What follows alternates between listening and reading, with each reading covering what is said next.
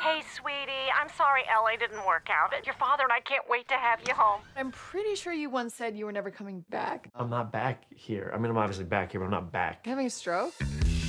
So for four years, you hated it? Things got harder and harder, and I got poorer and poorer. You're broke too? No, I just thought it'd be really fun to move back in with Gary and Janine. Mom, for oh, real? I'm sorry, honey. I thought maybe something was wrong. No, why would you think that?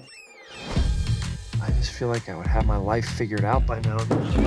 I'm sorry. Are you pissing in the sink? Uh, no. But last time, don't bother the customer. He pissed in the sink. I didn't piss in the sink. I saw it. He literally just did it. I went apple picking the other day. Got myself an iPad. How you doing? How you feeling? Oh, man. How do I look? Good to see you again. You gotta be kidding me. Are you currently sexually active? You think there's an STD in my arm? That would be my entire forearm in there. Okay. Sorry? Yeah. It's good to know. What's going on? I'm in my 30s. I don't really have a life. It's a Tuesday night and you're smoking dope with your dermatologist. Oh my god! I heard it was true. I guess it is. Wow. Let me guess. Your ex? The one that got away? No, the one I ran away from. Are you high?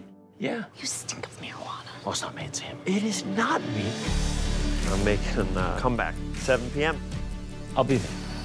Go and find yourself a real job, okay? You're telling jokes for pocket change. You're better than that. Let me tell you something about life. Everybody moves at their own speed.